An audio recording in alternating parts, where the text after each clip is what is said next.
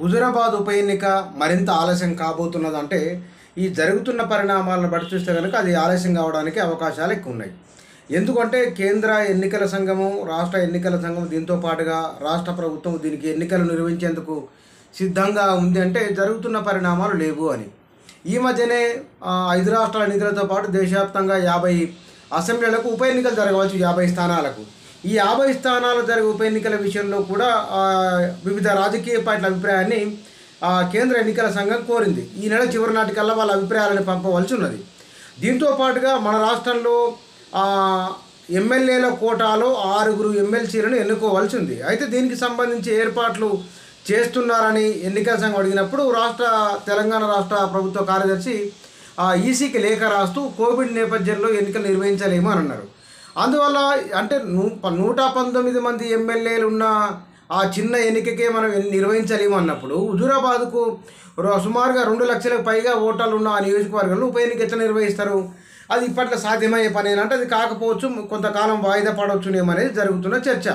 అంటే ఈ సీక్వెన్స్ మొత్తం తీసుకున్నప్పుడు దేశవ్యాప్తంగా ఐదు రాష్ట్రాల అసెంబ్లీ ఎన్నికలు జరగవలసింది యాభై అసెంబ్లీ నియోజకవర్గాలకు ఉప ఎన్నికలు జరగవలసింది అవి కూడా కొంత వెనక్కి వెళ్ళే అవకాశం ఉన్నది. ఎందుకోసం అంటే ఆగస్టు సెకండ్ వీక్ నుంచి అక్టోబర్ మధ్య థర్డ్ వే ఉంటుందని ఒక చర్చ ఉంది. సరే అదృష్టం కొద్ది ఇప్పుడైతే ఆగస్టు మధ్యవారానికి వచ్చినా కానీ ఇప్పటివరకు ఏవేవి కనిపిస్తలేదు. ఇట్లా పోతే కనుక మరి ఉండొచ్చునేమో. ఒకవేళ అది పెరిగితే కనుక ఆ, అక్టోబర్ నాటికల్లా పీక్ స్థాయికి వెళ్తే కనుక ఇబ్బంది అవుతుంది. గత ఎన్నికలు ఉప ఎన్నికలు కూడా ఒక అనుభవాన్ని తీసుకొచ్చినాయి కాబట్టి కాస్త ఆగి వెళ్ళాలన్న ఆలోచన ఉంది. దీంతో పాటుగా అంటే ఇవన్నీ చూసుకున్నప్పుడు హుజూరాబాద్ కూడా ఆలస్యం కావచ్చు అనేది. దీంతో పాటుగా రాష్ట్ర ప్రభుత్వం కూడా కాస్త ఆలోచన చేస్తూ పోతున్నట్టున్నది. గెలు శ్రీనివాస్ యాదవ్ టీఆర్ఎస్ అభ్యర్థిగా పెట్టినప్పటికీ అంటే ఆయన ప్రకటన జరిగిపోయింది. ఆ దానికి సంబంధించిన ప్రక్రియ వేగవంతం అవుతున్నా సరే కానీ ఈటెల రాజేందర్ వేవ్ సానుభూతి అనేది చాలా బలంగానే ఉన్నది. ఈ సానుభూతిని ఎదుర్కొనేందుకోసమై ప్రభుత్వం గ్రామానికి ముప్పై లక్షల నలభై లక్షల రూపాయల నిధులు కేటాయించి అక్కడ అభివృద్ధి కార్యక్రమాలు చేస్తున్నది. దీంతో పాటుగా రెండు మున్సిపాలిటీలకు సుమారు అరవై పైగా కోట్ల రూపాయలు కేటాయించి అక్కడ అభివృద్ధి కార్యక్రమాలు చేస్తున్నది. గ్రామస్థాయి గ్రామ స్థాయి వరకు మంత్రులు ఎమ్మెల్యేలు అక్కడనే ఉండి కార్యక్రమాలు పర్యవేక్షిస్తున్నారు. వారికి పెన్షన్లు కానీ ఇతరత్ర అవసరాలు ఏమున్నాయో గుర్తిస్తున్నారు మాట్లాడుతున్నారు. ఎంత జరిగినా సరే కానీ ఒకవేళ కనుక ఈ ఉప ఎన్నికలో టీఆర్ఎస్ ఓడిపోతే కనుక ఒకవేళ బీజేపీ గెలిస్తే ఈ రెండిట్లా జరిగితే కనుక వచ్చే అసెంబ్లీ ఎన్నికల నాటికి భారతీయ జనతా పార్టీ టీఆర్ఎస్కు ఆల్టర్నేటివ్ అనే ఒక చర్చ బలంగా ప్రజలకు వెళ్ళిపోతుంది. రెండవది అన్నిటికంటే కూడా కేసీఆర్ను ఎదిరించి బయటకు వస్తే కూడా రాజకీయంగా నిలబడగలము. పెద్ద భయపడేది ఏం లేదు. ఈటల రాజేంద్ర ఒక ఉదాహరణ అనే అభిప్రాయం కూడా వస్తుంది. ఈ రెండూ రాకుండా ఉండాలంటే కేసీఆర్ ముందు ఎవరు కాలరెగిరేయకుండా ఉండాలంటే చెప్పింది చెప్పినట్టు వినాలంటే అక్కడ టీఆర్ఎస్ గెలిచి తెరవాల్సిందే. అక్కడ టీఆర్ఎస్ గెలవాలంటే ఇప్పుడు ఇప్పటికిప్పుడే ఎన్నిక జరిగితే కనుక టీఆర్ఎస్ కొంత ఇబ్బంది అయ్యే అవకాశం కూడా లేకపోలేదు కాబట్టి కాస్త ఆచితూచి అడిగేసి కొంత గ్యాప్ వస్తే కనుక కాలం గడుస్తూ వస్తే కనుక ఈటల పైన సానుభూతి తగ్గుతూ వస్తుంది.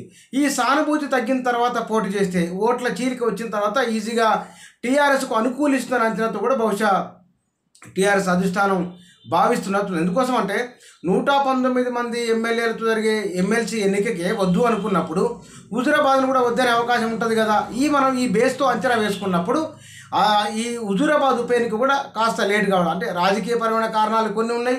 ఇక్కడ కరోనా వైరస్ నేపథ్యంలో ఉన్న కారణాలు కొన్ని ఉన్నాయి. ఈ కారణాలు మొత్తాన్ని తీసుకున్నప్పుడు ఎన్నిక కొంచెం లేట్ కావడానికి అవకాశాలు కనిపిస్తున్నాయి. అంటే వేవు లేకుంటే కనుక బహుశా పెట్టవచ్చినవి కానీ సినారియో మొత్తం కూడా టీఆర్ఎస్కు అనుకూలంగా ఉండడానికి చేస్తున్న ప్రయత్నాలుగానే కలిసి వస్తున్న అంశాలుగానే ఏర్పడుతున్నది. మరొక వైపున ఈ ఈ వాయిదా లేకుంటే కనుక బండి సంజయ్ పాదయాత్ర పాదయాత్ర చేస్తున్నారు. కాంగ్రెస్ పార్టీ కూడా ప్రత్యక్షంగా పరోక్షంగా ఎవరికి మద్దతు ఎట్లా ఇవ్వబోతున్నదో కూడా ఈ ఎన్నిక చూడాలి. ఎందుకంటే ఒక్కొక్కసారి ఆ బయట ఎంత తిట్టుకొచ్చారు కానీ విపక్షాలని అంతర్గతంగా ఒక ఒక- తాటిపైకి వచ్చి మరో ఓ- ఒక ప్రధానమైన శత్రువును ఓడించే ప్రయత్నం కూడా చేస్తారు. ఈసారి మరి ఎట్లా ఏం ఏ ఏ- ఏ తరహా రాజకీయం హుజురాబాద్లో ఉండబోతున్నో చూడాలి. ఎందుకోసం అంటే ఈ అంత మహామహులే ఉన్నారు రాష్ట్ర అధ్యక్షులుగా. ఎవరంటే వాళ్ళు సై అంటే ఎవరి ఉనికిని వాళ్ళు బలంగా కాపాడుకునే ప్రయత్నం చేసేవాళ్ళు కేసీఆర్ ఢీ కొట్టాలని అనుకునే వాళ్ళు కాబట్టి మరి ఈ అగ్ర ఉన్నారు వీళ్ళంతా ఎటువైపు పోతారు ఏం చేస్తారు?